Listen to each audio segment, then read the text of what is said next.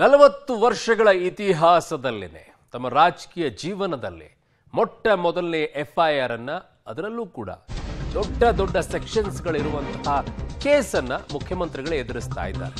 ನಲವತ್ತು ವರ್ಷಗಳ ರಾಜಕೀಯ ಇತಿಹಾಸದಲ್ಲಿ ಮೊದಲ ಎಫ್ಐಆರ್, ಸಿದ್ದರಾಮಯ್ಯ ರಾಜಕೀಯ ಜೀವನದಲ್ಲೇ ಮೊದಲ ಎಫ್ಐಆರ್ ಇದು. ಮೂಡಾ ಕೇಸ್ನಲ್ಲಿ ಮೊದಲನೇ ಆರೋಪಿಯಾಗಿದ್ದಾರೆ ಮುಖ್ಯಮಂತ್ರಿ ಸಿದ್ದರಾಮಯ್ಯನವರು. ಎರಡನೇ ಆರೋಪಿಯಾಗಿ ಅವರ ಪತ್ನಿ ಪಾರ್ವತಮ್ಮ ಅವರಿದ್ದಾರೆ. ಮೂರನೇ ಆರೋಪಿಯಾಗಿ ಬಾಮೈದ ಮಲ್ಲಿಕಾರ್ಜುನ ಸ್ವಾಮಿ ಇರೋದು. ನಾಲ್ಕನೇ ಆರೋಪಿಯಾಗಿ ದೇವರಾಜ್ ಇರೋದು. ಮೂಡ ಹಗರಣದ ತನಿಖೆ ಈಗ ಆರಂಭವಾಗಿದೆ.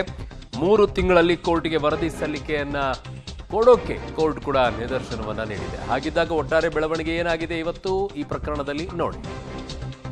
ಮುಡಾ ಕೇಸ್ನಲ್ಲಿ ಸಿಎಂ ವಿರುದ್ಧ ಎಫ್ಐಆರ್. ಸಿದ್ದರಾಮಯ್ಯ ವಿರುದ್ಧ ಎಫ್ಐಆರ್ ದಾಖಲು. A one Siddaramaiah, A two ಪತ್ನಿ ಪಾರ್ವತಿ. ಮೈಸೂರು ಲೋಕಾಯುಕ್ತದಲ್ಲಿ ಎಫ್ಐಆರ್. ಮುಡಾ ಹಗರಣ ಸಂಬಂಧ ಸಿಎಂ ಸಿದ್ದರಾಮಯ್ಯ ವಿರುದ್ಧ ಕೊನೆಗೂ ಎಫ್ಐಆರ್ ದಾಖಲಾಗಿದೆ. ಜನಪ್ರತಿನಿಧಿಗಳ ವಿಶೇಷ ಕೋಡ್ ಸೂಚನೆ ಮೇರೆಗೆ ಮೈಸೂರು ಲೋಕಾಯುಕ್ತದಲ್ಲಿ ಎಫ್ಐಆರ್ ದಾಖಲು ಮಾಡಲಾಗಿದೆ. ಪ್ರಕರಣದಲ್ಲಿ ಸಿದ್ದರಾಮಯ್ಯ ಎ ಒನ್ ಆದರೆ ಸಿಎಂ ಪತ್ನಿ ಪಾರ್ವತಮ್ಮ ಎ ಟು ಆರೋಪಿಯಾಗಿದ್ದಾರೆ.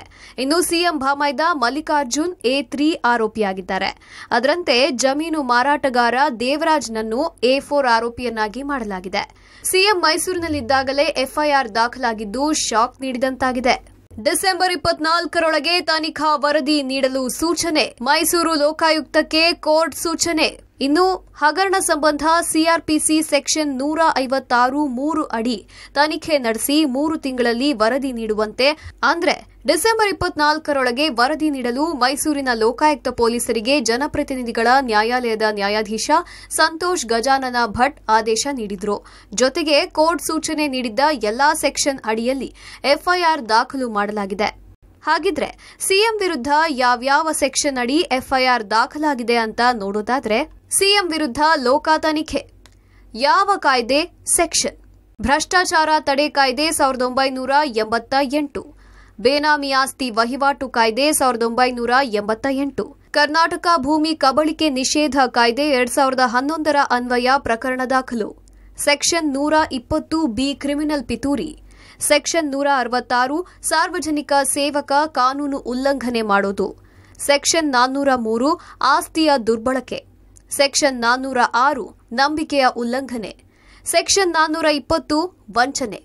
ಸೆಕ್ಷನ್ ನಾನ್ನೂರ ಇಪ್ಪತ್ತಾರು ದುಷ್ಕೃತ್ಯವೆಸಗುವುದು ಸೆಕ್ಷನ್ ನಾನ್ನೂರ ಅರವತ್ತೈದು ಫೋರ್ಜರಿ. ಸೆಕ್ಷನ್ ನಾನ್ನೂರ ಅರವತ್ತೆಂಟು ವಂಚನೆ ಉದ್ದೇಶಕ್ಕಾಗಿ ದಾಖಲೆಗಳ ಫೋರ್ಜರಿ. ಸೆಕ್ಷನ್ ಮುನ್ನೂರ ನಲವತ್ತು, ಅಕ್ರಮ ಬಂಧನ, ಸೆಕ್ಷನ್ ಮುನ್ನೂರ ಐವತ್ತೊಂದು. ಇತರರಿಗೆ ಹಾನಿಯನ್ನುಂಟು ಮಾಡೋದು ಎಂಬೆಲ್ಲಾ ಸೆಕ್ಷನ್ ಅಡಿ ಎಫ್ಐಆರ್ ದಾಖಲಾಗಿದೆ. ಇದಷ್ಟೇ ಅಲ್ಲದೆ ಪಿಸಿ ಆಕ್ಟ್ನ ಸೆಕ್ಷನ್ಗಳನ್ನು ಎಫ್ಐಆರ್ನಲ್ಲಿ ನಮೂದಿಸಲಾಗಿದೆ. ಸಿಎಂ ವಿರುದ್ಧ ಲೋಕ ತನಿಖೆ, ಯಾವ ಕಾಯ್ದೆ? ಸೆಕ್ಷನ್. ಪಿಸಿ ಆಕ್ಟ್, ಸೆಕ್ಷನ್ ಒಂಬತ್ತು. ಸಾರ್ವಜನಿಕ ಸೇವಕನ ಮೇಲೆ ಪ್ರಭಾವ ಬೀರೋದು. ಪಿಸಿ ಆಕ್ಟ್, ಸೆಕ್ಷನ್ ಹದಿಮೂರು. ಸಾರ್ವಜನಿಕ ಸೇವಕನಿಂದ ಕ್ರಿಮಿನಲ್ ದುರ್ನಡತೆ. ಸೆಕ್ಷನ್ ಐವತ್ಮೂರು, ಬೇನಾಮಿ ವ್ಯವಹಾರಕ್ಕೆ ದಂಡ. ಸೆಕ್ಷನ್ ಐವತ್ನಾಲ್ಕು, ಸುಳ್ಳು ಮಾಹಿತಿ ನೀಡುವುದಕ್ಕೆ ದಂಡ ಎಂಬ ಸೆಕ್ಷನ್ಗಳನ್ನು ಹಾಕಲಾಗಿದೆ. ಪ್ರಾಮಾಣಿಕ ಹೋರಾಟಕ್ಕೆ ಜಯ ಸಿಗುತ್ತೆ. ದೂರುದಾರ ಸ್ನೇಹಮಯಿ ಕೃಷ್ಣ ಹೇಳಿಕೆ. ಇನ್ನು ಸಿಎಂ ವಿರುದ್ಧ ಎಫ್ಐಆರ್ ದಾಖಲಾದ ಬೆನ್ನಲ್ಲೇ ದೂರುದಾರ ಸ್ನೇಹಮಯಿ ಕೃಷ್ಣ ಪಬ್ಲಿಕ್ ಟಿವಿಗೆ ಪ್ರತಿಕ್ರಿಯಿಸಿದ್ದಾರೆ. ಮೇಲಾಧಿಕಾರಿಗಳಿಂದ ಒತ್ತಡ ಬಂದಿದೆ. ಹಾಗಾಗಿ ಎಫ್ಐಆರ್ ದಾಖಲಾಗಿದೆ. ನಮ್ಮ ಹೋರಾಟಕ್ಕೆ ಜಯ ಸಿಕ್ಕಿದೆ. ಪ್ರಾಮಾಣಿಕ ಹೋರಾಟಕ್ಕೆ ಜಯ ಸಿಕ್ಕೇ ಸಿಗುತ್ತೆ. ಪ್ರಕರಣ ಸಿಬಿಐಗೆ ವರ್ಗಾವಣೆ ಆಗುವವರೆಗೂ ನಿರಂತರ ಹೋರಾಟ ಮಾಡ್ತೇವೆ ಎಂದರು. ಮೇಲಾಧಿಕಾರಿಗಳವರಿಗೆ ಒತ್ತಡ ಬಂದಿರಬೇಕು. ಈ ಕಾರಣ ನನಗೆ ಈಗ ಎಫ್ ಐ ಆರ್ ದಾಖಲು ಮಾಡಿದರೆ ಸೊ ನಮ್ಮ ಹೋರಾಟಕ್ಕೆ ಮತ್ತೊಂದು ಜಯ ಸಿಕ್ಕಂತಾಗಿದೆ. ಖಂಡಿತವಲ್ಲ ಸರ್, ಸಮಾಧಾನ. ಈಗ ನಮ್ಮ ಪ್ರಾಮಾಣಿಕ ಹೋರಾಟಕ್ಕೆ ಯಾವತ್ತೂ ಜಯ ಸಿಗುತ್ತೆ ಅನ್ನೋಕ್ಕೆ ಇದೊಂದು ಉದಾಹರಣೆ. ಒಬ್ಬ ರಾಜ್ಯದ ಮುಖ್ಯಮಂತ್ರಿ ವಿರುದ್ಧ ಒಬ್ಬ ಜನಸಾಮಾನ್ಯ ಕೂಡ ಹೋರಾಟ ಮಾಡಿ, ಒಬ್ಬ ಭ್ರಷ್ಟ ಮುಖ್ಯಮಂತ್ರಿಗೆ ಶಿಕ್ಷೆ ಕೊಡಿಸ್ಬೋದು ಅನ್ನೋದಕ್ಕೆ ಇದೊಂದು ಪ್ರಕರಣ ಉದಾಹರಣೆ ಆಗಿದೆ. ಇದು ರಾಜ್ಯದ ಜನತೆ ಅರ್ಥ ಮಾಡ್ಕೋಬೇಕು. ನಾವು ಈ ದೇಶದ ನಾಗರಿಕರಾಗಿ, ಈ ದೇಶದಲ್ಲಿ ಇಂಥ ಸಿದ್ದರಾಮಯ್ಯನವರಂಥ ಭ್ರಷ್ಟ ರಾಜಕಾರಣಿ ಮಾಡುವಂಥ ಅಕ್ರಮಗಳನ್ನ, ಅನ್ಯಾಯಗಳನ್ನ ತಡಿಬೇಕು ಅಂತೇಳಿ ಮನವಿ ಮಾಡ್ಕೊಂಡು ಇತ್ತ ಸಿಎಂ ವಿರುದ್ಧ ಎಫ್ಐಆರ್ ದಾಖಲಾದ ಬೆನ್ನಲ್ಲೇ ಲೋಕಾಯುಕ್ತ ಅಧಿಕಾರಿಗಳು ದಾಖಲೆ ಪತ್ರಗಳನ್ನು ತೆಗೆದುಕೊಂಡು ಹೋಗಿದ್ದಾರೆ.